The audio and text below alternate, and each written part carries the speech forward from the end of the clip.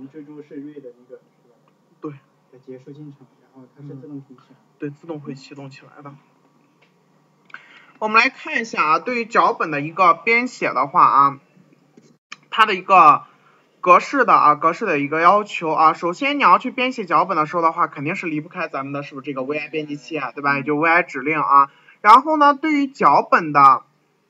脚本的一个命名的话，需要大家去注意一点是什么？还记不记得之前咱当时我在去讲呃 VI 的时候说过一句话，在我们 Linux 里面的话，我们说对于文本文档的话，它其实是没有什么来着的。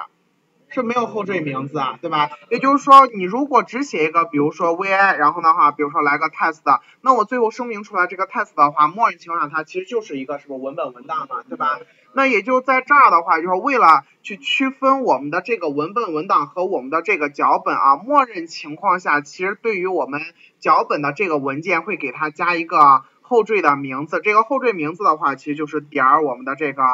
Sh 啊，这个啊，这个其实你不写后缀名字也不错啊，但是为了区分，就是我们的这个普通的文本文档和我们的这个脚本文件啊，一般情况下就在后面去加上一个点 sh 去做一个后缀，因为这个 sh 的话，其实还是根据我们的这个。其实就是这个办事得来的，因为本身的话就说我的脚本是交给我的 bash 解析器来进行解析的啊，所以说它在对于脚本的一个命名的时候啊，它默认情况下也是加上了一个点 sh 啊，加一个点 sh，在这块啊要去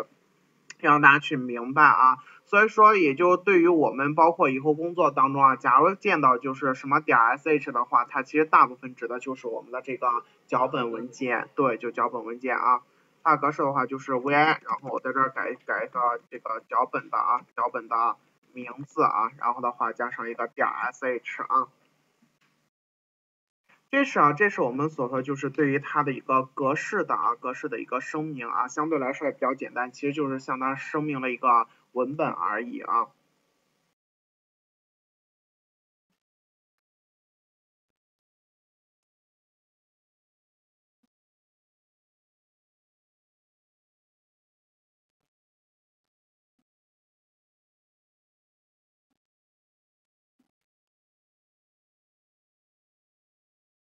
然后我们来去看一下啊，也就是声明完成之后的话，我直接来写吧啊，要在我们的这个当中啊，我这儿去 clear 一下啊，c l e a r 啊 clear，它之后的话啊，回到这个 cd 这个桌面啊，对吧？我还得自己来敲，我把它插了吧，重新再打开。然后的话啊，我们来看啊，在这儿的话，因为咱今天就是开始的话，可能写的脚本会比较多啊，我希望大家养成一个习惯，就在你的这个桌面去。创建一个文件夹，比如说这个文件夹就叫做一个脚本，在这个我们所写的这些脚本都放在这个文件夹里面啊，我把这都给清了啊，不太喜欢这个。然后的话就是说咱所写的脚本都放在这个里面，不要去放在你的桌面啊，你会发现等咱写完之后，你的半半张桌面全是你的脚本文件啊，所以说你就放在一个放在一个目录里面啊，那我在这儿的话就写上这个。呃，CD 啊，我先切换路径，进入到我的这个，是不是进入到这个脚本当中了，对吧？进入到这个里面，进到这个里面之后的话，大家来看啊，我们先去声明今天的第一个脚本啊，也就去写上我们的这个 VI，然后呢，我在这儿给个这个 test 零一吧啊，test 零一，然后点我们的这个 sh，写完之后的话，我是不是回车一下，对吧？回车完成之后的话，你还是不是进入到我们的这个？这个编辑的可编辑的这样的一个页面，对吧？我如果想编辑的话，按哪个键来着按或者 A，对吧？也就是说，当前也就是变按了一下 I，然后变成 Insert。那我这个脚本里面的这个格式该怎么去写呢？啊，大家来看这一块啊，呃，在我们的脚本文件当中啊，第一行是有要求的啊，相当于第一行是给了一个固定的写法，去写上一个井号、感叹号，然后反斜杠 b 反斜杠。Bash 啊，这是脚本的第一行必须去写的一句话啊，这一句话是什么意思呢？其实就是简单点来说，就是指定我当前这个脚本一旦写完之后的话，是交给哪个解析器来进行解析或者运行的啊。那这个符号就是井号、感叹号的话，就是用来指定该脚本文件的这个。解析程序，让谁来解析呢？指定的是我 B 目录下的这个 bash 解析器来去解析我当前写出来的这个脚本啊。你看这里使用的是 b 目录下的这个 bash 解析器啊。这个啊，这是第一行必须去写的一句话啊，井号感叹号反斜杠 b 反斜杠 bash 要明白啊，明白是什么意思啊？用来指定交给哪个解析器来进行解析脚本的操作啊。这后面这一句话不用去记啊，什么当编辑好脚本之后，这句话不用去记啊。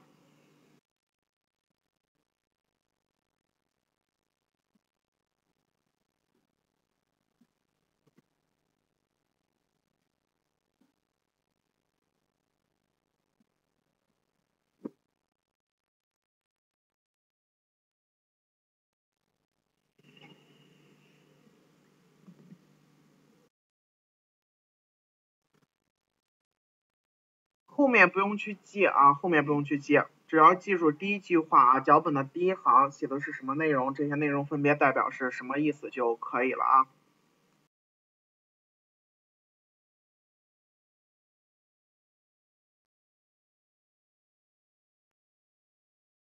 我们来去看一下啊，也就是当前的一个操作啊，我们来去完善一下。呃，在这儿的话，我是不是第一行去输一个井号？啊感叹号，然后反斜杠 bin 反斜杠我们的是 bash 对吧？那我这个脚本里面写什么呢？咱在这儿啊，就先简单的让它去输出一句话啊，任何的编程都是从 hello world 开始的啊，咱去输入一输出一 hello world 啊，然后在这儿的话，我们输出对应的是哪一个指令呢？是不是 echo 啊，对吧？echo，然后我让它去输出我的这个 hello world 啊，w 啊。L D 啊，说好了我的啊，那我这个时候啊，我就让这个脚本，我的第一个脚本就做这一件事情啊，就输出一句话，这时候我是不是写完了，对吧？写完之后的话，我们说是按哪个键来的？E S C 对吧？E S C 之后输什么？冒号 W Q 是保存并退出啊，对吧？然后回车。完成之后的话，接下来我这个脚本是不是已经声明完成了，对吧？脚本声明完成之后的话，大家想想，我上节课说了一句话，我的这个脚本虽然它是一个文档，但是这个文档是不是可以被干什么来着？是被执行的，对吧？所以说第一种方式啊，对于脚本的一个运行，第一种方式啊，我们来看这一块啊，我需要先给它添加一个可执行的一个权限或者可执行的一个。属性啊，就是当编辑好脚本之后啊，第一种方式啊，如果你要去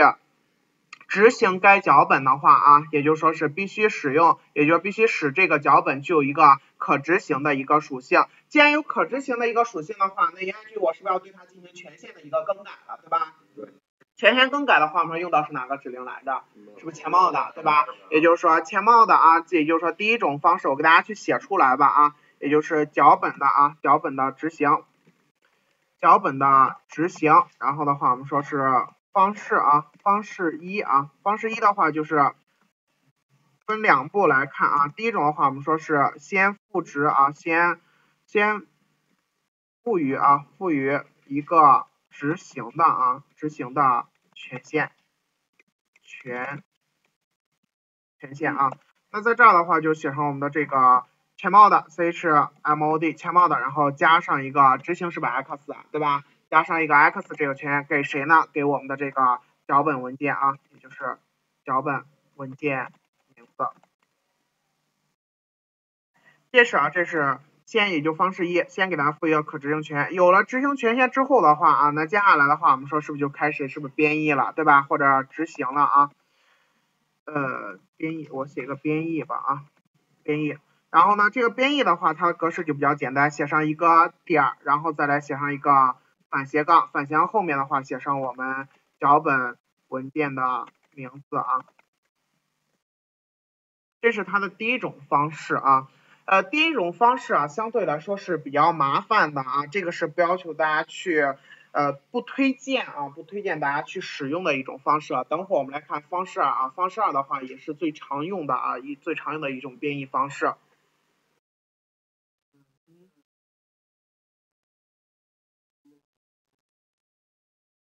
就是所有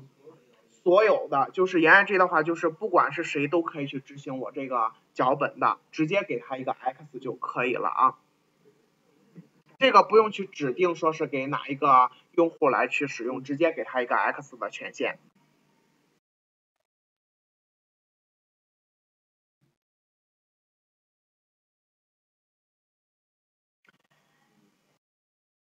我们来看一下啊，也就是当前咱们去做一个操作啊。我在这儿的话，就说 ch 前冒的，我给它加上一个是不 x 这样的一个执行权限，对吧？给谁呢？是我们这个 test 零一点我们的这个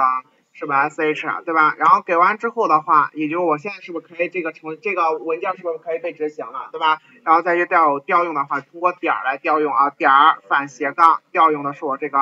test 零一点我们的这个。sh，那我一旦运行这个脚本之后的话，它会反馈一个什么样的结果呀？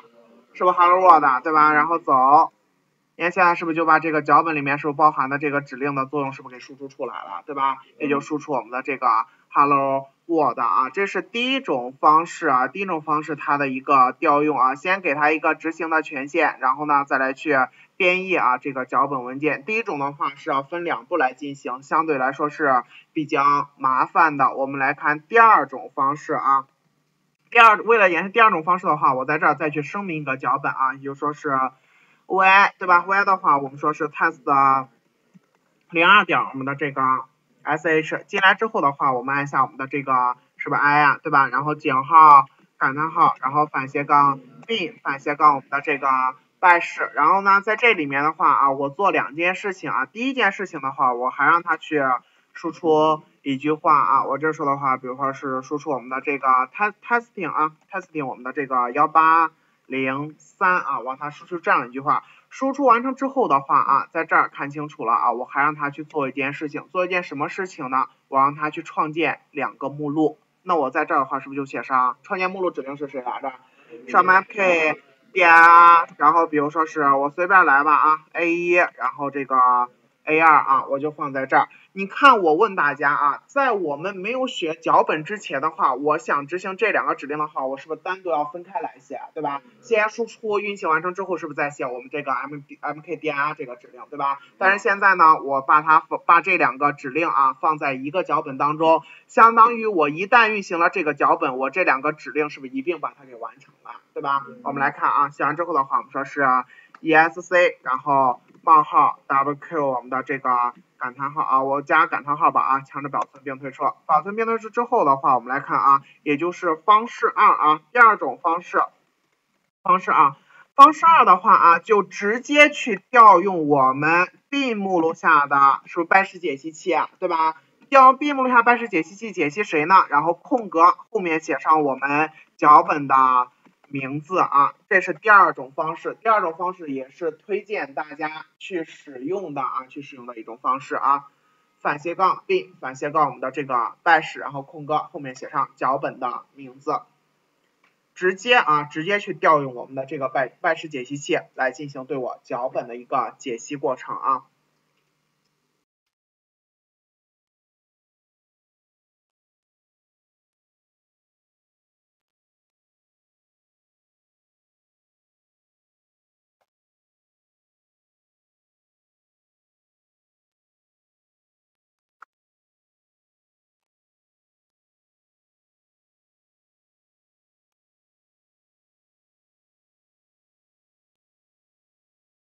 执行之后的话，我们来去看一下啊，也就是说，当前我当前要去编译我这个 test 零二这个脚本了，那我在这儿的话就写上反斜杠 b 反斜杠我们的 bash，然后去写上 test 零二点我们的这个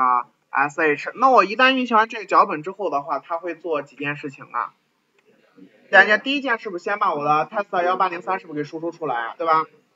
出来之后的话，它会在我这个是不是当前的这个目录下，是不是在创建？是不是两个目录啊，对吧？我回车一下啊，走。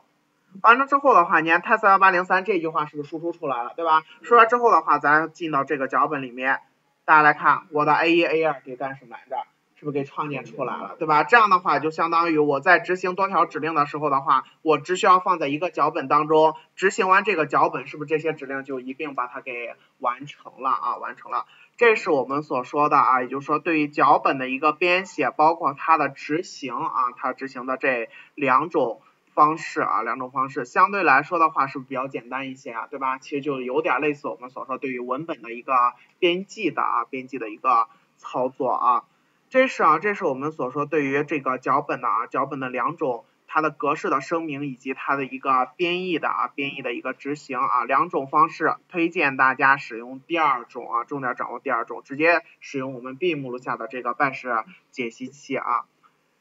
然后的话，你看在这儿，也就是说是注意事项啊，假如你像调用就是使用方式一来去执行我的这个脚本的时候的话，是必须要给我们的这个脚本加上一个。可执行的这个权限，否则的话，它是告诉你是没没无执行这样的一个权限啊。这个只是针对方式一来说的啊。呃，你看第二个的话，就是在去编译脚本的时候啊，一定要前面去加上一个点儿反斜杠啊，明确就是说这个点儿相当就是我们当前也就说是调用的意思啊。给了它的一个执行权限之后的话，点儿反斜杠去调用我们的这个脚本，前面这个点儿反斜杠可不能给少了啊，不能去少了。然后第三点的话，就是我和大家去说的，对于我们脚本的这个后缀名字，其实是没有固定的一种格式的，也就是说它的后缀名是可以去做修改的啊，也就是即使做了修改之后的话，也是可以正常去运行的，因为本身我还是回到我当时最早和大家说的那句话，在我们 Linux 脚本当中的话，对于文本的一个后缀它是没有要求的，其实默认情况下一个文本的生成是没有后缀。名字的，它不像我们说 Windows 下还有什么点 txt 什么点什么 doc 啊，对吧？格式要求比较多，但是在我们 Linux 里面是没有的啊。呃，但是呢，为了也就是区分开我们的这个普通的文本文档和我们的这个脚本文件，默认情况下我们编写出来的这个脚本都是在这个文件后面去加上一个点儿。Sh 来去做一个区分的啊，做一个区分，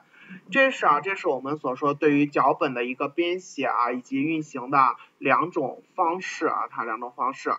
呃，然后这个是第一个脚本编写，这个就不再去说了啊，也就是说是它的一个流程，然后呢，我。